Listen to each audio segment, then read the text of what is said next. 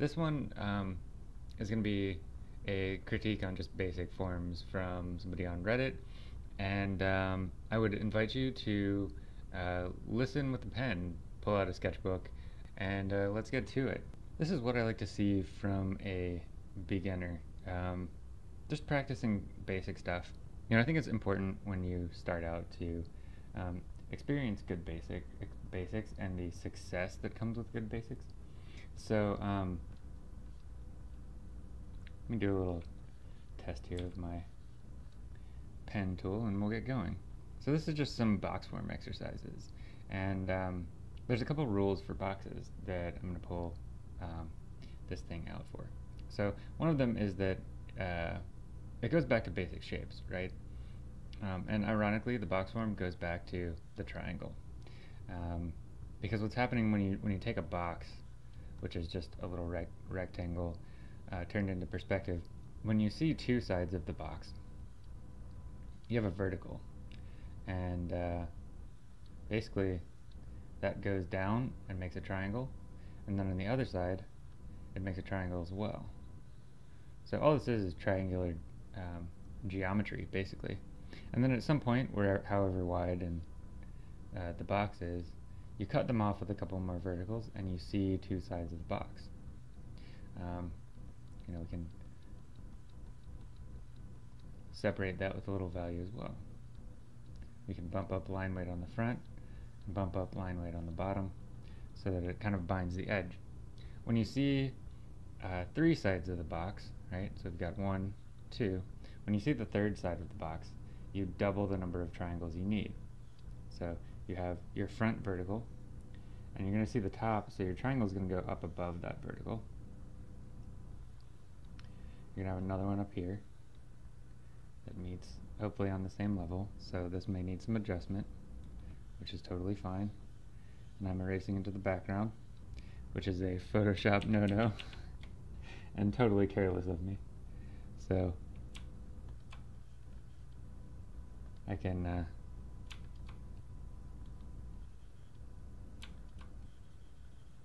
I'll just pick the background color average and erase with that. Now I'll go into a proper layer and do this correctly. Anyway, so we've got two triangles, right? So we're taking this side right here and we're running it over to this side, right? So this is side one and then taking this side and running it over here. So this is side two. And then we're going to add side 3 on top. So what you can do from here is add a vertical here, add a vertical here, and then we're going to complete the triangles by going to the same point up here and up here. And so now we see side 3. Okay? And we've gone from, you know, two triangles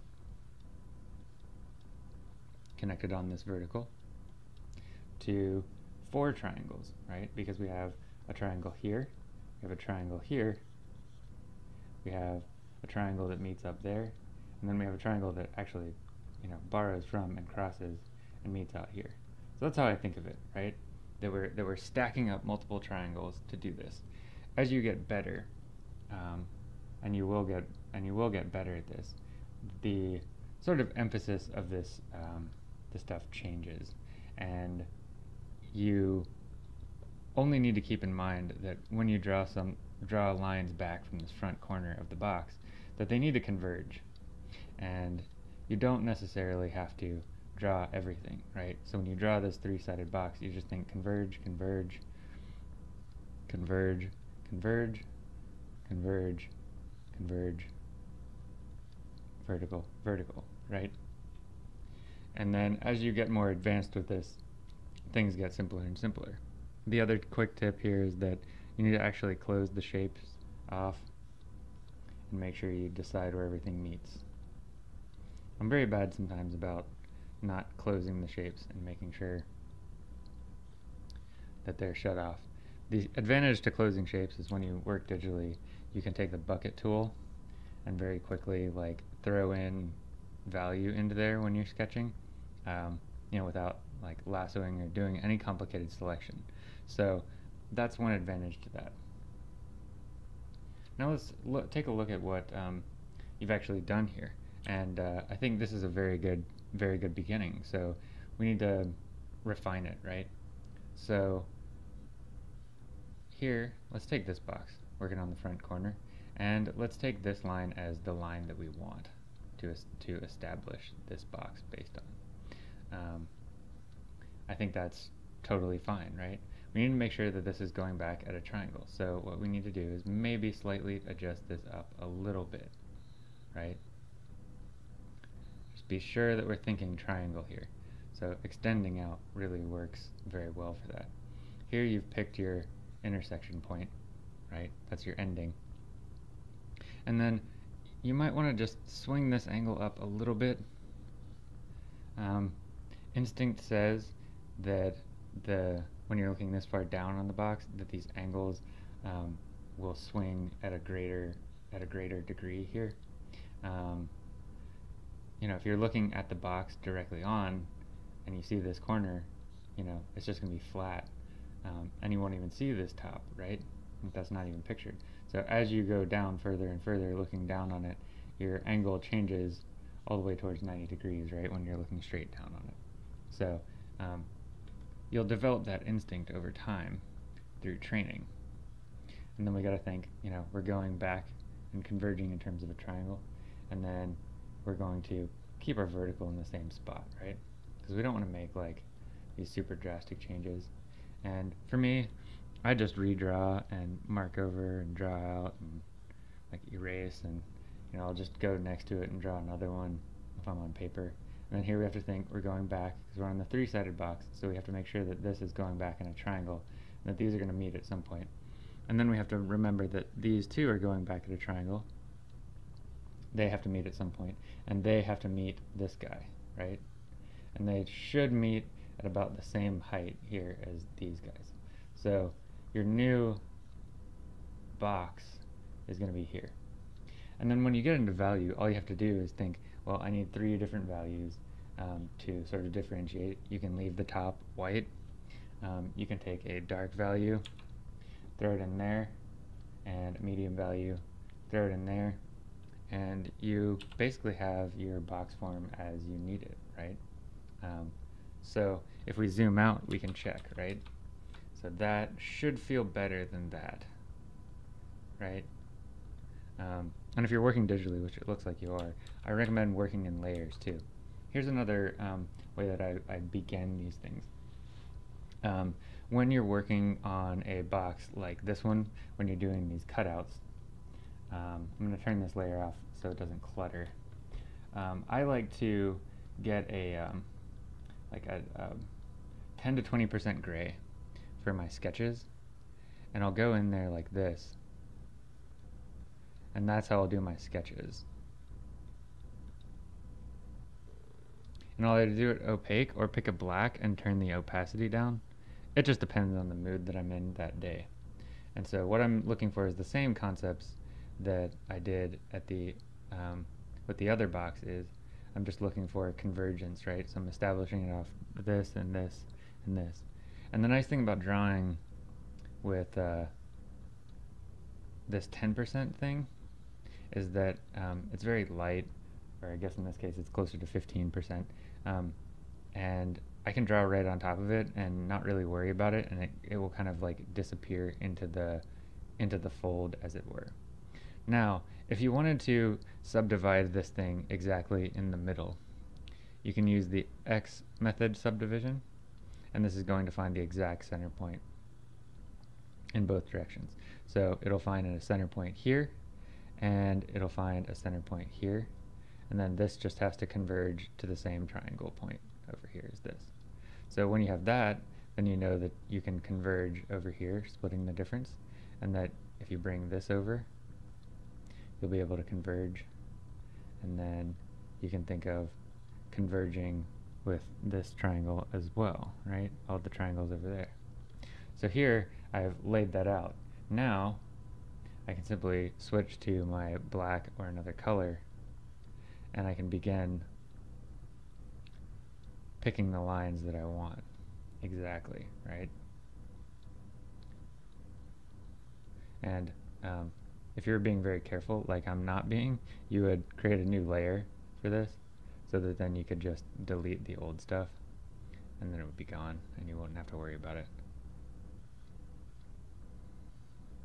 So these might seem like very subtle changes, but they're critical changes that should help you develop these things a little bit better. And um, one of the trouble that people have, I think, is seeing the applicability of these things, right? Um, you know, this basically is the start of stairs. So if you're doing architectural drawings, right, like if you're doing concept art, you're gonna draw architecture. Um, there's just no real way around it. So you might as well figure this stuff out early on. Um, you know, we, you can also take like a, um, I like flat brushes that, um, you know, you turn the opacity off and they just sort of go. Um, just found this one today. So like, I like to think of just taking like a 50% and saying like, you know, where's my light source from? And uh, run with it. So let's say I've got a light source like kind of coming from the left and uh, I'm going to put light on this top side and this side right here. That means that these sides are going to go into shadow.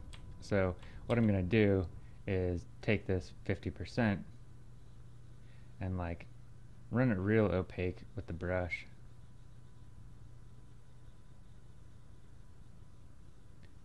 And run this into shadow and I'm going to do the same thing here, right?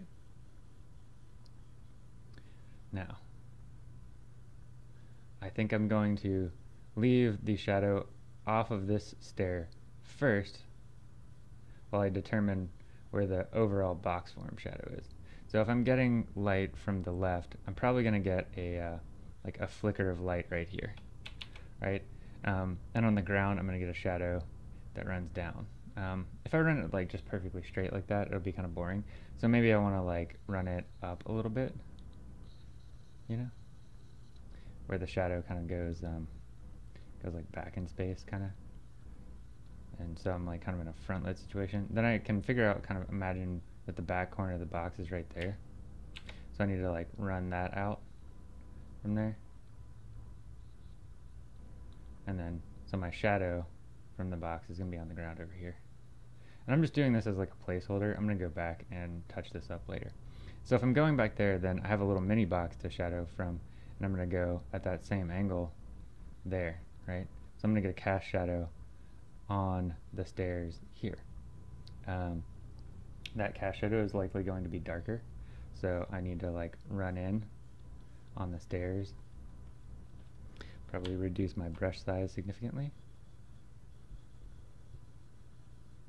throw down my cast shadow. And I'm choosing kind of like a raking light angle. Um, you know, sometimes the light would do something more like this, where it casts a shadow like that. But I'm choosing like a steeper angle, because um, why not? And then, you know, my ground shadow is going to also be very dark. So I need to run in here with like this dark, maybe even darker, and just like go to ground with it.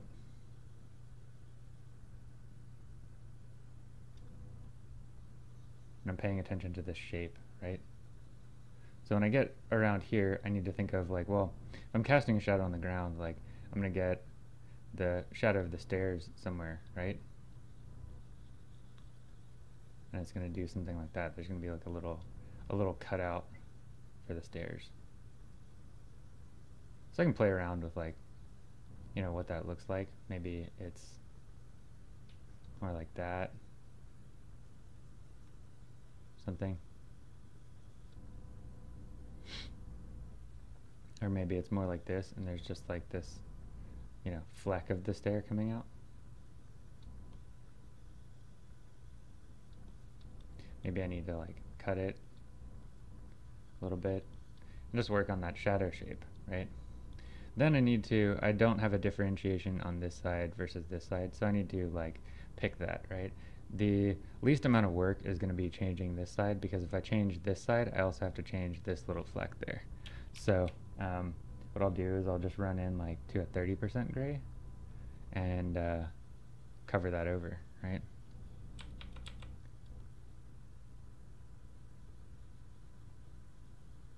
And this way I have differentiated every single side of the box and I've also created a neat cast shadow. And then if I need to, I can just like eye drop and uh, change the shapes and like just refine from there. You know, and this is just sketching, right? You know, this is just practice to like sketch with. You know, this corner sucks right here, so like I need to go in and just like, you know, make sure that's better, right? This corner kind of sucks too, so I need to go in and change that. If I change that, then I come out to the outer edge and fix that outer edge and then fix this corner here. So, you know, there we have it, uh, like an improvement on this on this guy, right? Um, and an extension, right? It's it's going a little bit further in terms of value and, and everything. Um, you know, the the next ninja tactic, right, is to go in with this stuff and then create um, value transitions within this, right? So I might take this particular tone and get a, um, a soft round uh, brush, uh, make it sort of big, um, make it a little bit darker, and then as I get down the bottom, create a slight value transition. The slight value transition is, is like the idea that this, the light is hitting it at the top um, closer. And then here, I might take this dark and this might reflect some dark onto here. Because there's like no reflected light. And then I might take some of this light tone and work it up here where it might get a little reflected light there. Same thing here, I might get a little reflected light here not as bright as what's on the bottom stair, and then I might get a little bit of a darker re uh, reflection here. Maybe the stairs are shiny, I don't know. And then up here, right, where it's like pure white, I can just take a little bit of this 10-20% tone and run that there.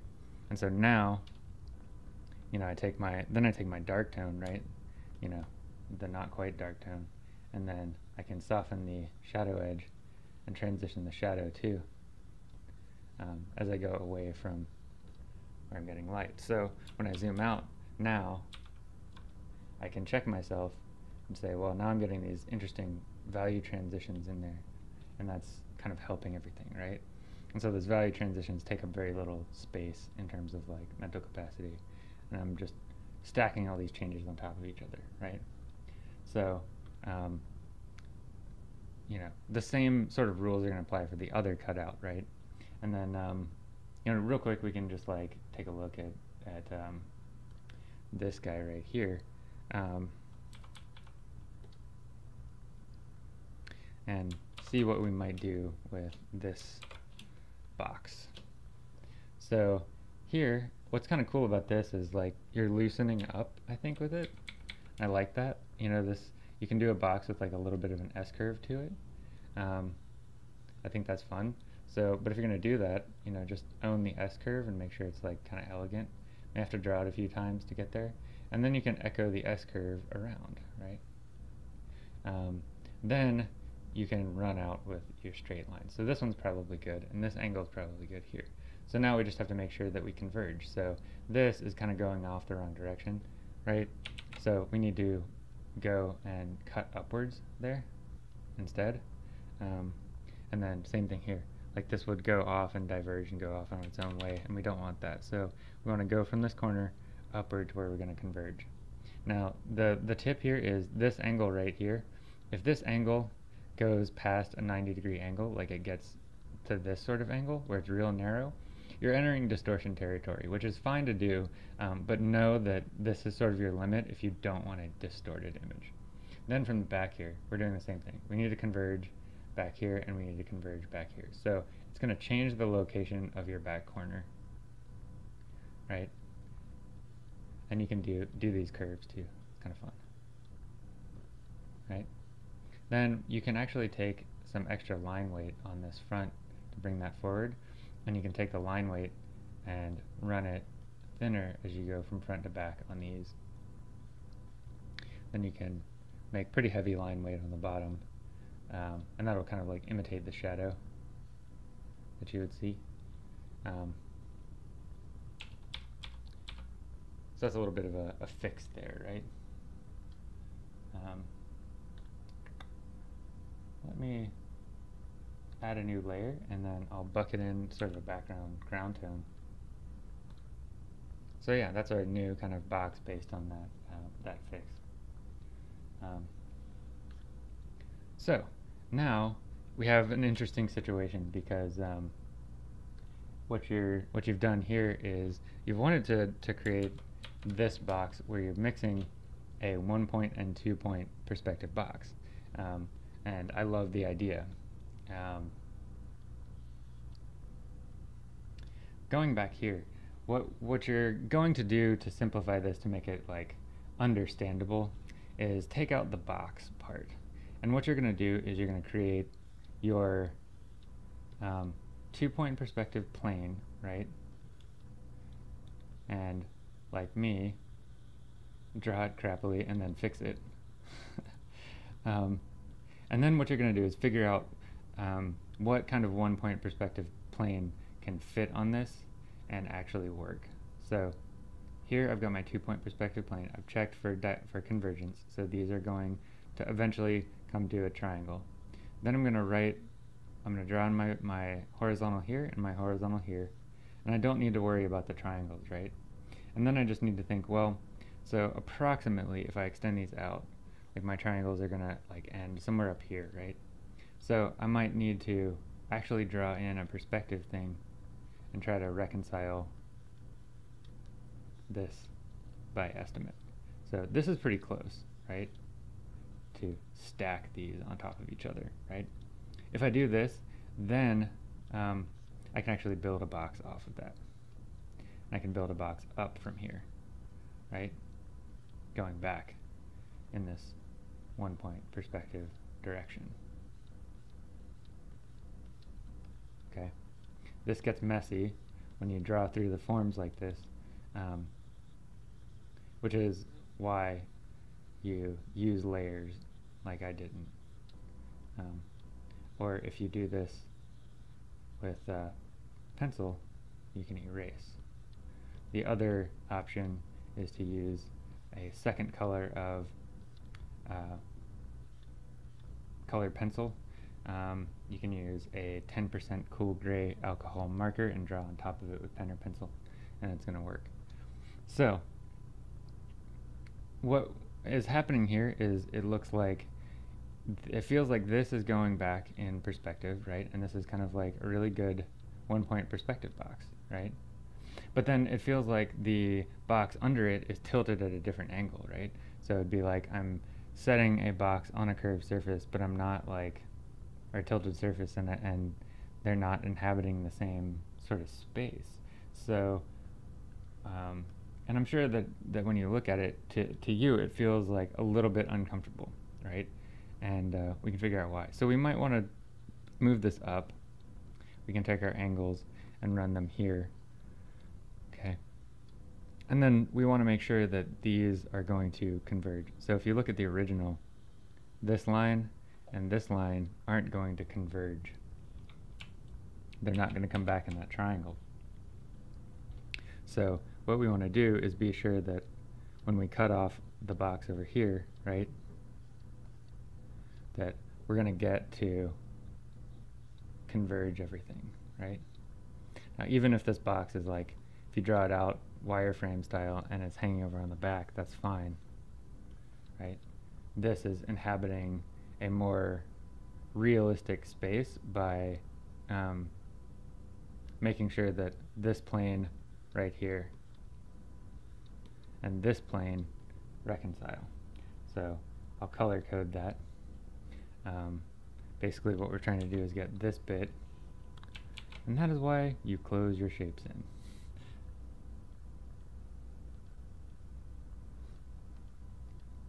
Let me draw all of this on a new layer with an actual brush. Um, here, we'll just do this. We'll just draw it on. We'll draw the color code on a new layer. So, we're trying to reconcile this plane, right?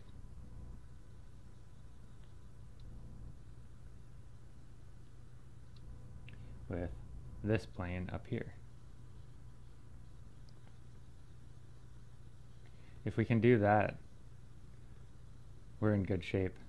The rest of the verticals and, and vertical planes are kind of just, you know, they're not really part of the equation so much.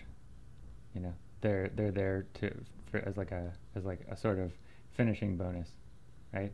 But these are the planes that you need to that you need to worry about, um, and you know, you might actually try some like plane rotation exercises where you go over here and just say, well, you know, if I'm if I'm looking at a plane like this, that feels like it's going back in space a certain way. So let me just like rotate that a little bit, do like a slight angle, and then see if I can, you know, look at it like that. And then so I notice that my back point is over here and my front point is over here. But then what if I make it steeper, you know, and change it more like that?